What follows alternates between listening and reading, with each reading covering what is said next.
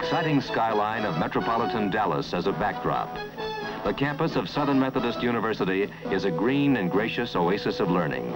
Not to mention some of the leggiest, loveliest co-eds this side of, well, anywhere.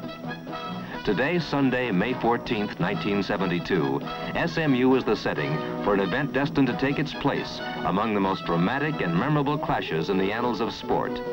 One generally hailed, with only token argument from the old-timers, as the greatest tennis match of all time. To the crowd that packs Moody Coliseum, to the national television audience of aficionados for the world's fastest growing sport. This is the eagerly awaited equivalent of boxing's rematch between Dempsey and Tunney, or Joe Frazier and Muhammad Ali. The second meeting at the summit of the two racket kings who fought it out to a four-set fare-thee-well in last year's World Championship of Tennis.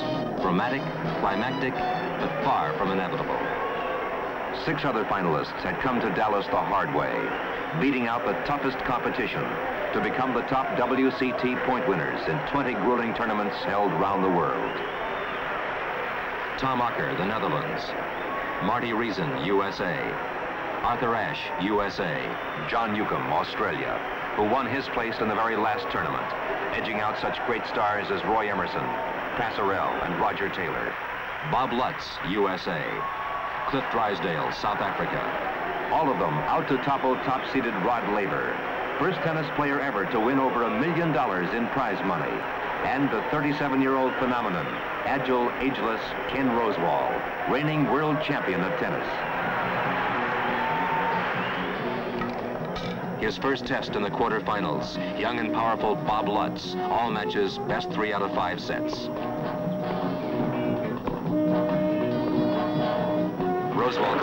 Set 6-1.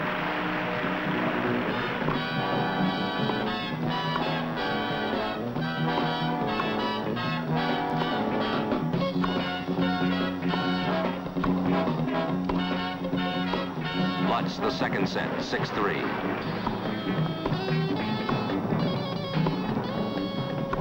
Rosewall the third, also 6-3. Lutz wins the fourth, ties it up, two sets all. And the fifth set decides it. Lutz falters, and Rosewall rolls over him 6-1 to move into the semis.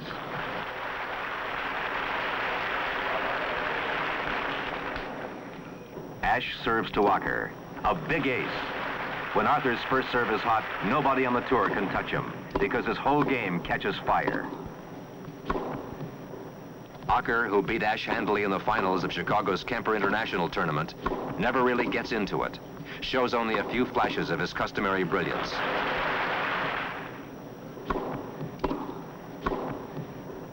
Ashe wins it in three scintillating sets, 6-4, 6-1, 6-3.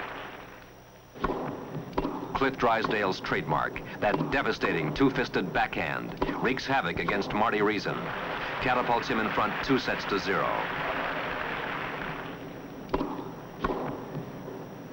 Lapse in concentration by Drysdale, and a spectacular turnaround takes place.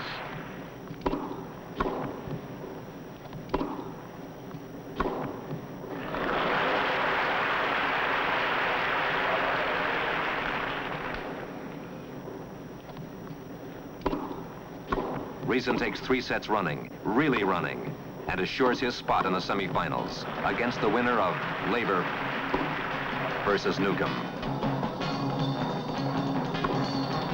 A hard-fought match, but not a long one. A single service break in each set settles it. But unluckily for John, all three of them go to Rod.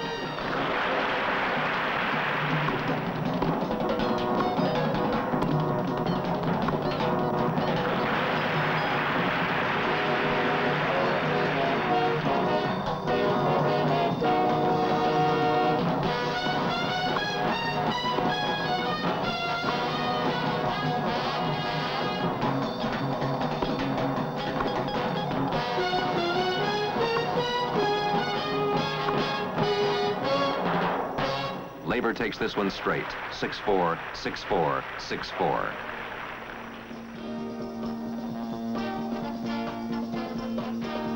In the pool of the Dallas Hotel where the WCT finalists are staying, Tom Okker splashes away the sting of defeat with a real water baby. while his wife, Anne-Marie, watches the action with Mary Laver. Rod's adversary tonight, Marty Riessen, with his beautiful wife, Sally, taking time out to relax after his five-set struggle with Drysdale before the upcoming crucial semifinals. Arthur Ashe, Ken Rosewall. A packed house watches them battle for a place in the finals.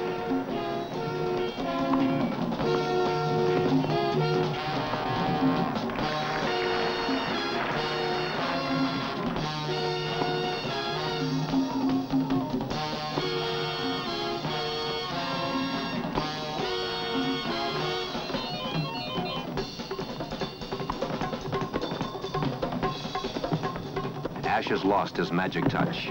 Rosewall wins the first two sets, 6-4, 6-3. But Ashe surges back in the third.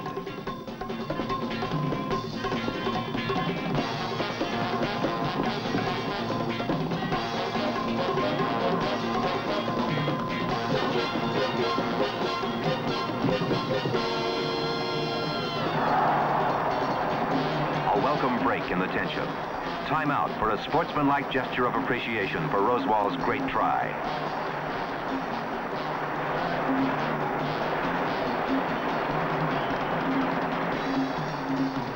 Six games all, and they go into a 12-point tiebreaker. Can Ashe turn it around this late in the day? No way. Rosewall takes seven straight points for his third straight set and a shot at his second straight World Championship of Tennis title. Will his opponent be Marty Riessen or once again, Rod Laver?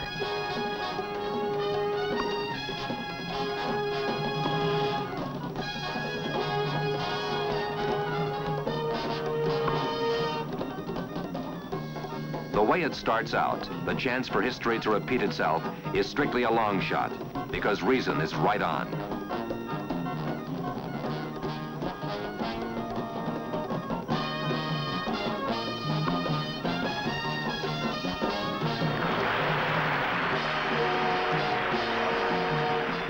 First two sets 6-4, 6-4, just like Laver took Newcombe.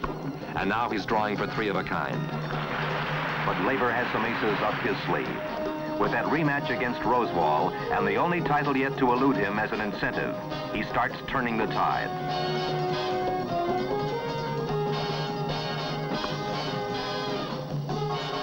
He destroys a tiring Riessen in the last three sets, 6-1, 6-2, 6-love.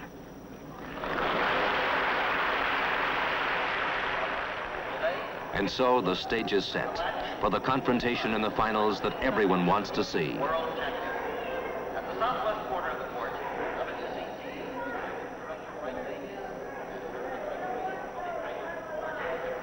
The big one between the big two, Laver and Rosewall.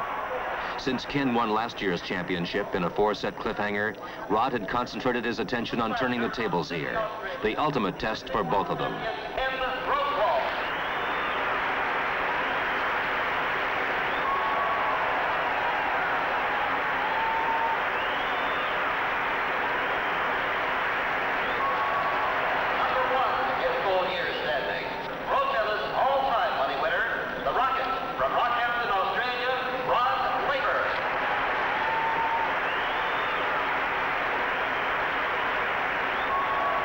two all-time greats, not only in tennis, athletes whose ability and stamina have won them a permanent place among the unforgettable stars of all sports. Referee Tony Trabert spins the racket. Rosewall wins the serve. And then the first of 355 points, which will be bitterly fought for tooth, nail, and racket before this marathon epic is concluded.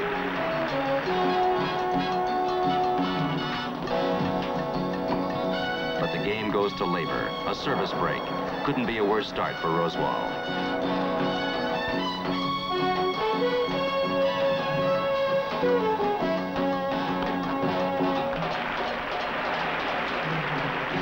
And here, in slow motion, the ballet-like beauty and grace of the sport is fully revealed.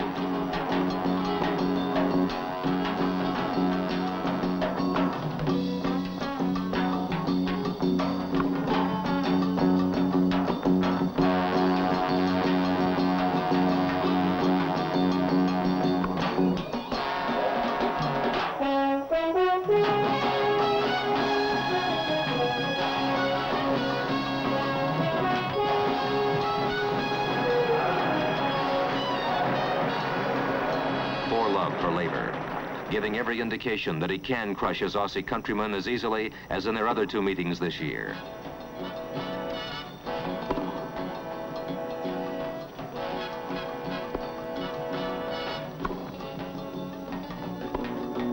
But it isn't that easy.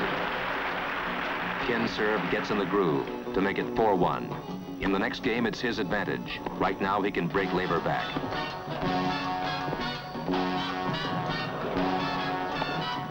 It doesn't work out that way. Laver wins the point and goes on to hold serve, gaining a 5-1 edge.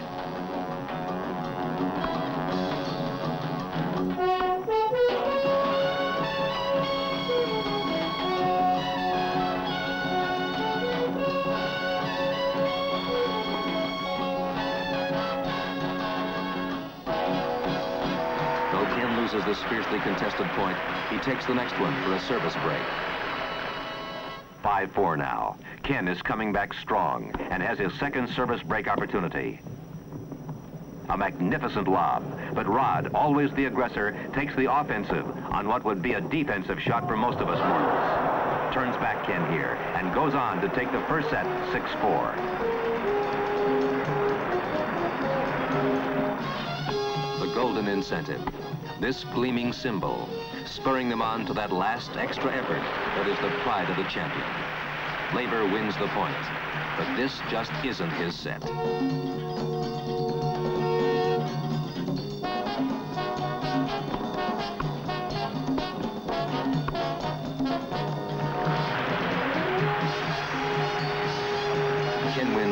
Five straight games. And here in the sixth, as his fourth opportunity to break Rod's serve and whitewash him in the set. He does it, and the score seems unreal, both to the crowd and to Ken. To win a set six low against Rod is something that doesn't happen too often. Hollywood's Jim Franciscus, a confirmed tennis addict himself, marvels at Rosewall's incredible resilience. First game, third set.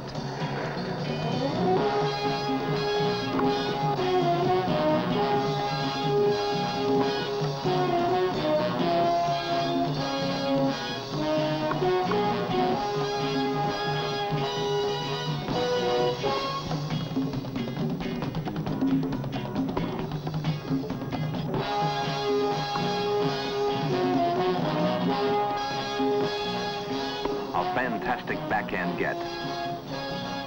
But Rosewall coolly lays it in the other corner. Incredibly, Laver reaches the ball. Add to Rosewall, really beginning to sweat this one out.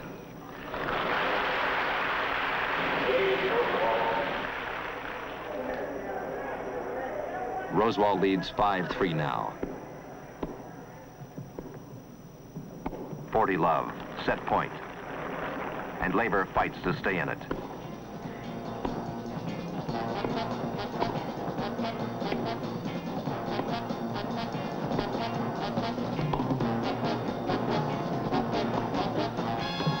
How does he do it? That Laver wrist action is one of the marvels of the game, but it's still set point.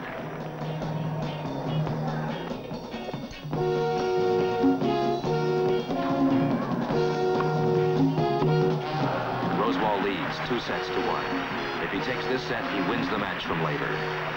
Another Rod named Steiger, quite an award winner himself, roots for his namesake to get back in it. Changed my rackets after the third set, and uh, my serve seemed to come back a little bit better then.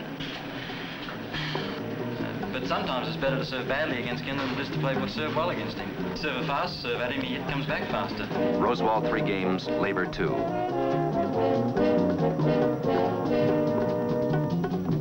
But Rod storms back to face Ken with a service break at 1540. Well, that's one of the things that Rod does, where you feel you've got him in a match and he comes back. After another Laver break, it's 5-4 his favorite. Rosewall leading 15 love. He moves in for the volley, only to be driven back by a great lob. But his equally great return pins Laver to the service line. Ken moves in again to make a crisp volley to keep Laver back. But then Rod takes the offensive, pulls Ken over and back with a down-the-line corker.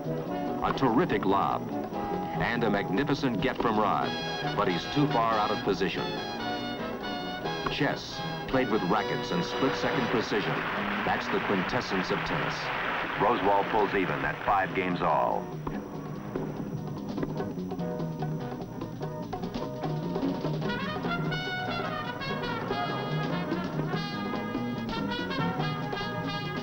Then Laver holds serve and leads 6-5. Rosewall fights to even it up at six games all and a chance to win it in the tiebreaker. Now it's 40-15.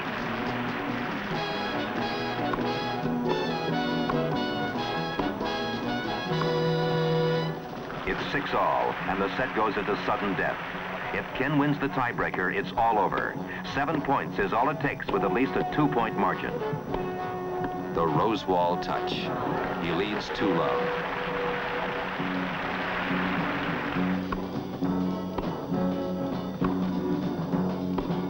Two one.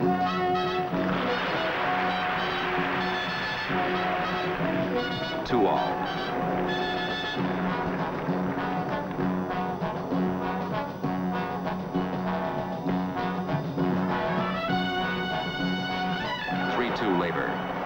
Takes the next one. Four two Laver.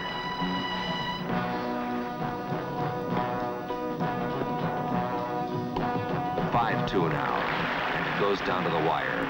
Laver leading six three. One more point will give him the set.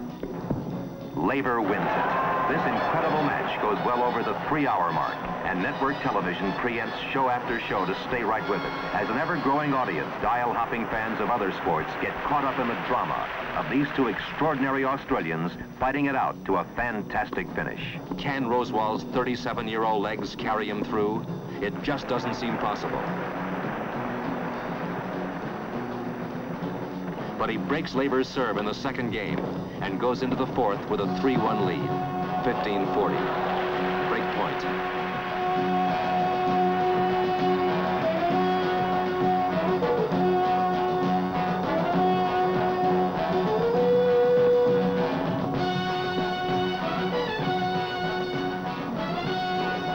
Forty,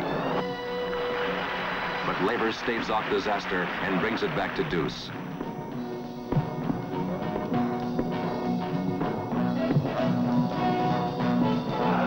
Rod's advantage now, but Ken takes the next two points to face him with another break.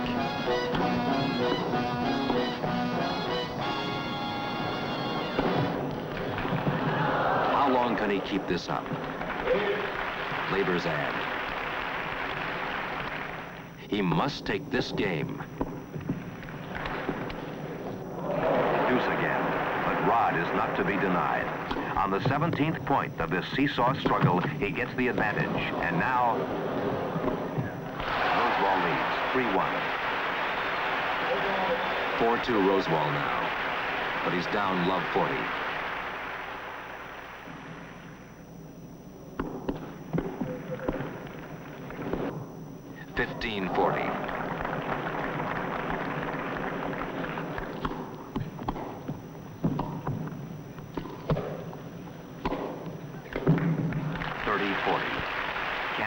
Bone-tired Rosewall pull this one out of the fire? No. Rod breaks serve, and now Rosewall leads 4-3. The match rolling past the three and a half hour mark.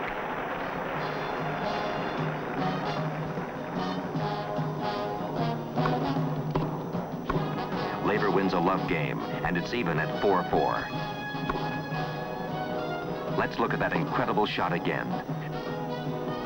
Laver hits a winner going away. Not too many players in the world can duplicate that one. Rosewall holds serve, and Laver has to follow suit just to stay alive.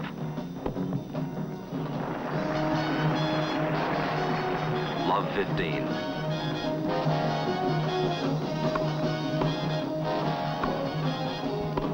Fifteen all. I was hoping Rod would serve from a backhand there. Felt that I'd, I'd give that a bit of a shot. Ken takes it to 30-40 match point. Laver's back is against the wall. Rod survives the crisis to take the game, but Ken holds serve to lead 6-5. And in the crucial 12th game, Rod is still under the gun. He must hold serve. 30-15. 40-15. Rosewall takes the next point, and it's Laver's advantage. Now almost everyone in the vast crowd is rooting for him. It seems not only fitting but absolutely essential that this match go down to a fifth set tiebreaker to cap its ever-mounting drama with a climax of almost unbearable suspense.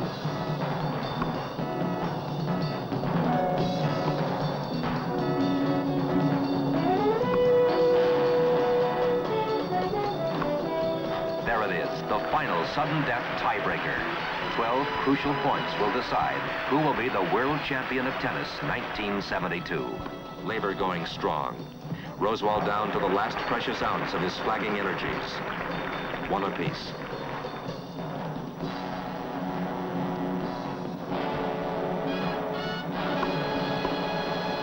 Two one Laver.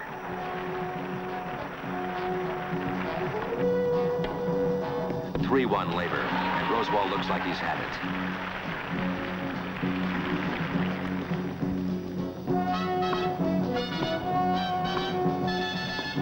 Three two Laver.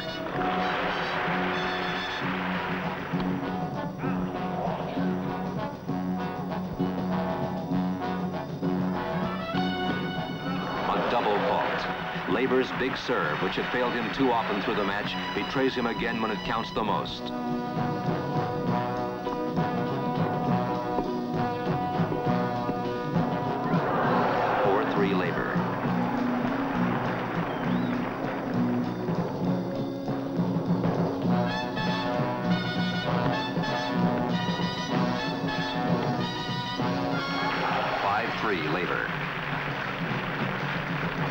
A pair of big ones to polish Ken off. That ball must weigh a ton.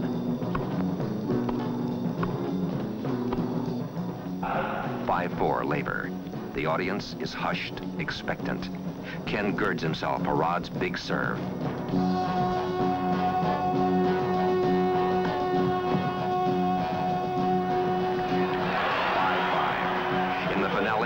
Set, unbelievably even. A blistering backhand return down the line. The shot heard round the tennis world.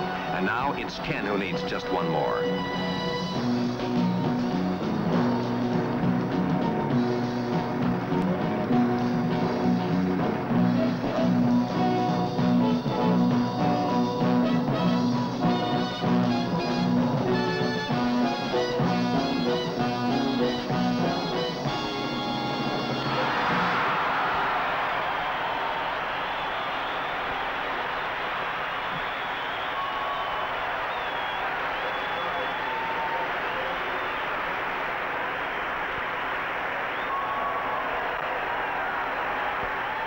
Only two points difference between these two tennis immortals after playing for three hours and 45 minutes. As Mike Davies, Executive Director of World Championship Tennis, says in his presentation, That is probably the greatest tennis match that I have ever seen in my life.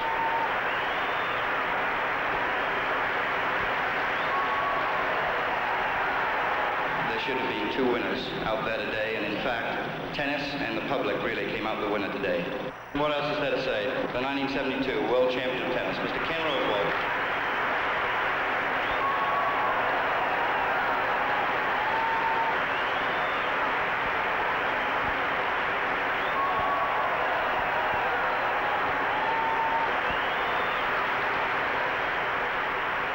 I'm just about out of breath. We're just about all out of time.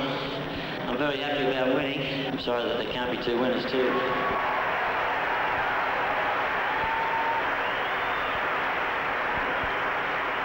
Ken Rosewall, age 37, for the second consecutive year, the world champion of tennis.